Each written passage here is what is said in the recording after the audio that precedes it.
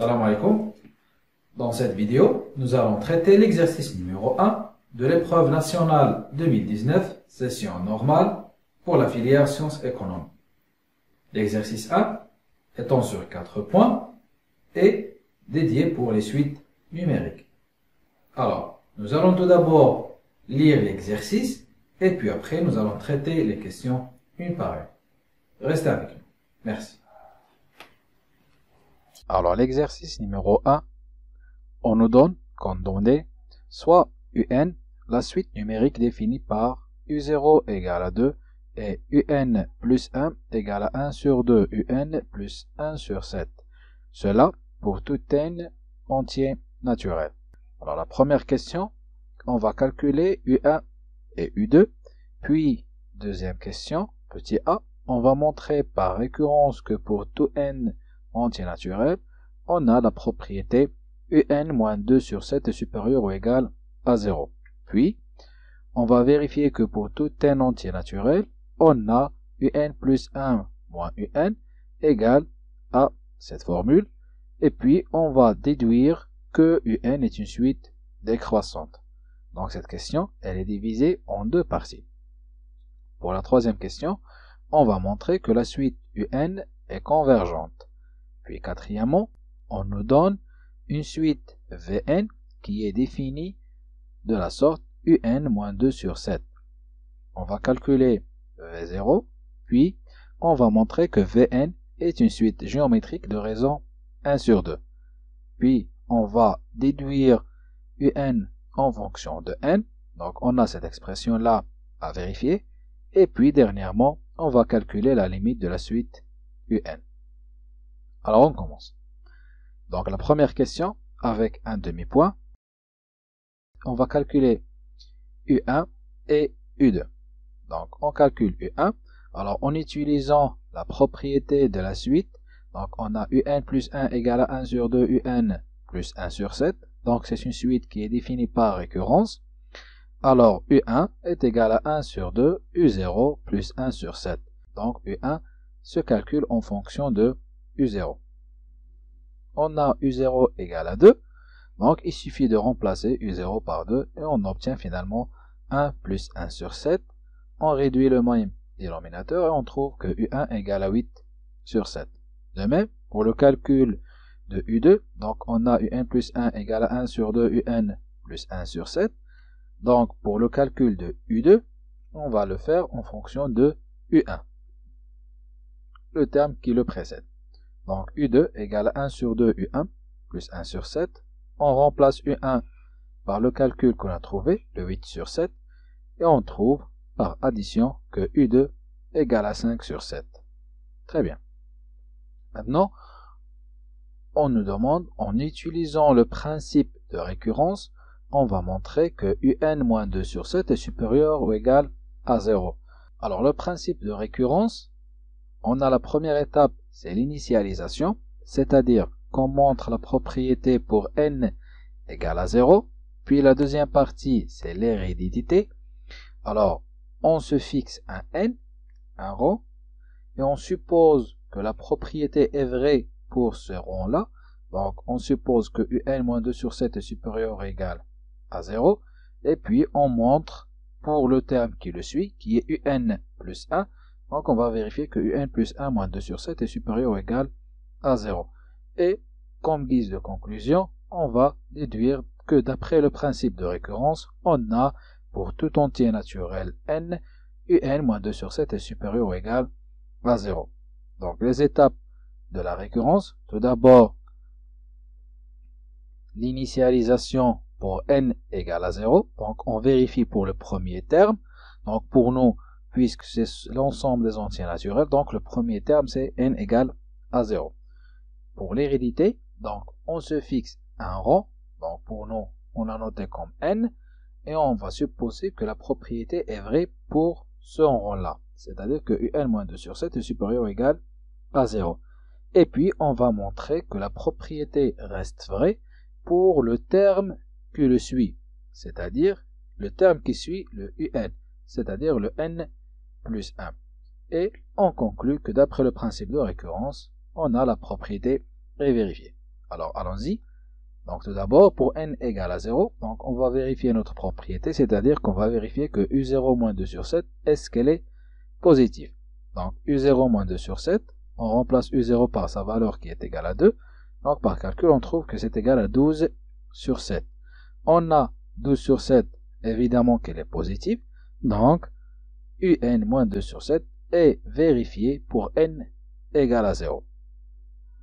Donc, la deuxième étape, soit n appartenant à n, donc on suppose que un moins 2 sur 7 est supérieur ou égal à 0. Et on va montrer que un plus 1 moins 2 sur 7 est supérieur ou égal à 0. Mais ici, dans cette supposition-là, dans cette hypothèse qu'on a pris, on a un moins 2 sur 7 est supérieur ou égal à 0. Donc c'est-à-dire que un est supérieur à 2 sur, sur 7. Alors, on va montrer que un plus 1 moins 2 sur 7 est supérieur ou égal à 0, c'est-à-dire qu'on va montrer là aussi que un plus 1 est supérieur ou égal à 2 sur 7. Alors, montrons que un plus 1 est supérieur ou égal à 2 sur 7.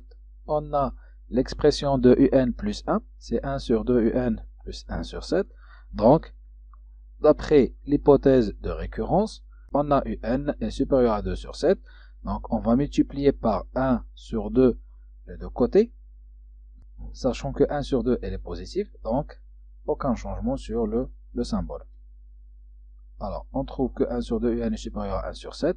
Il suffit maintenant d'ajouter 1 sur 7 aux deux côtés, et on trouve finalement que 1 sur 2 un plus 1 sur 7 est supérieur à 2 sur 7. Et ce terme-là, ce n'est rien d'autre que un plus 1. Donc on trouve que un plus 1 est supérieur à 2 sur 7.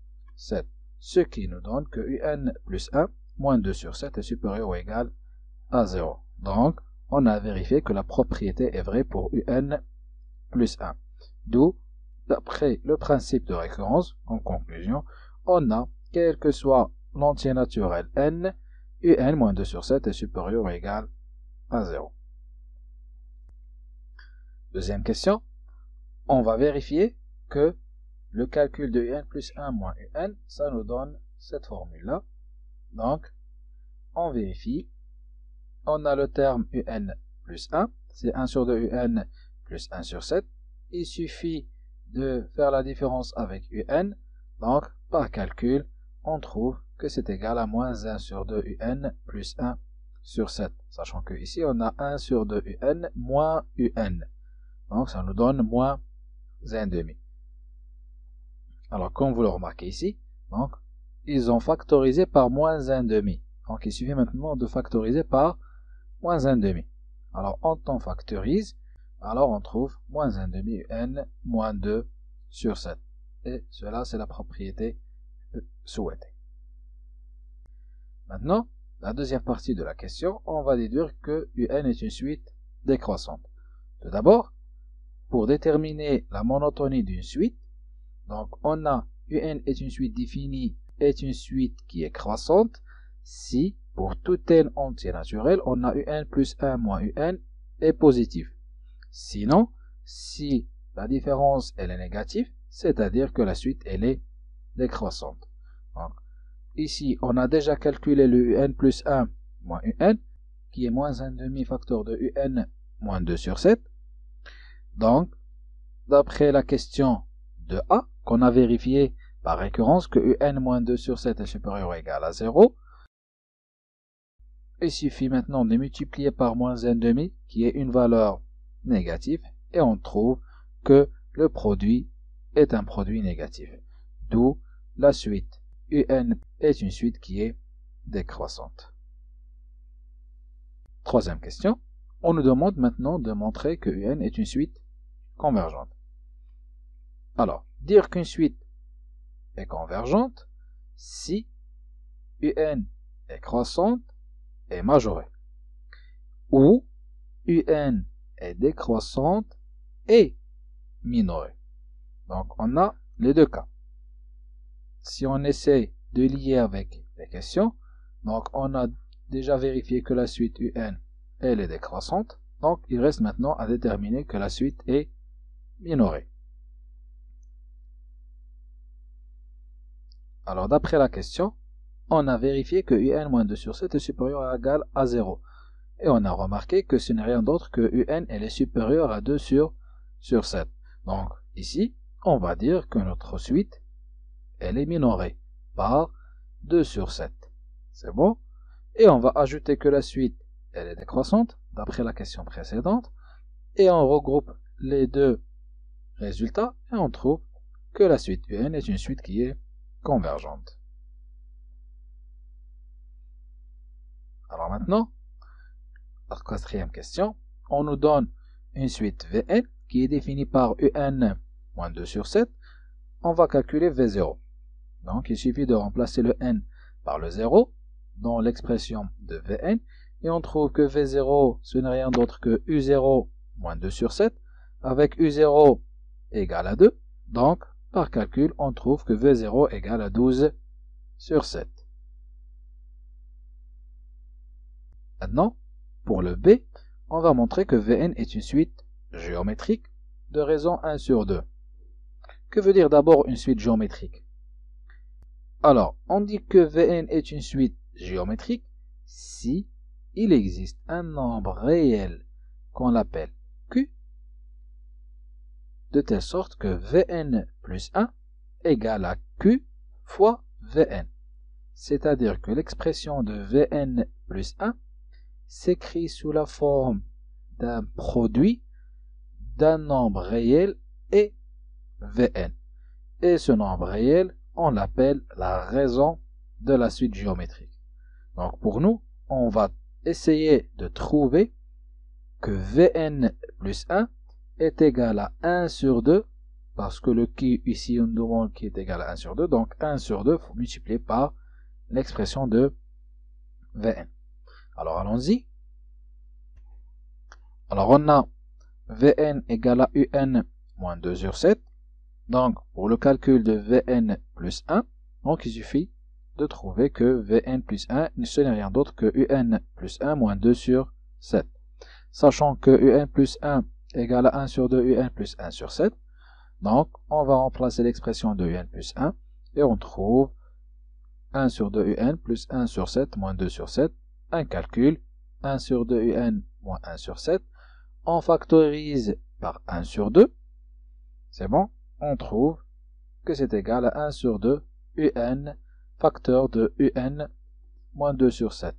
Sachant que vn c'est rien d'autre que un moins 2 sur 7, alors on trouve que vn plus 1 est égal d'autre que 1 sur 2 vn.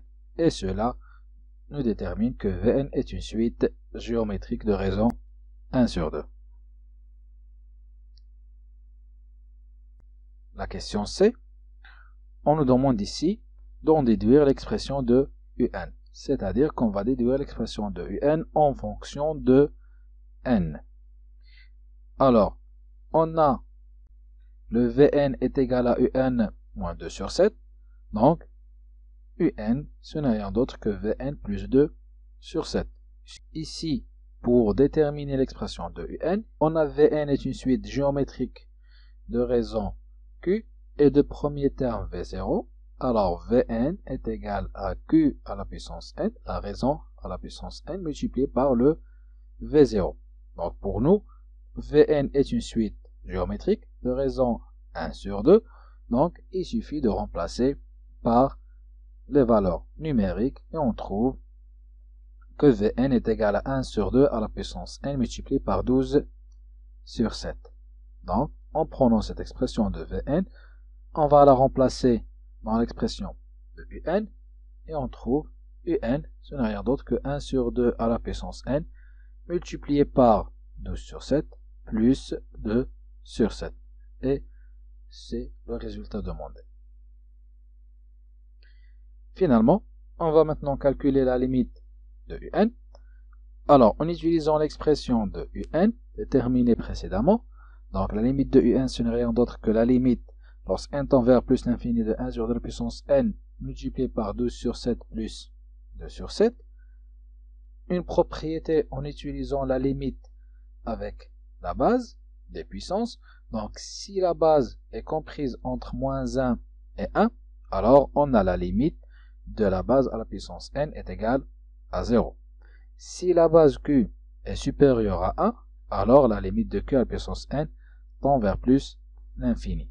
Et si le q est inférieur ou égal à moins 1, donc ici, pas de limite.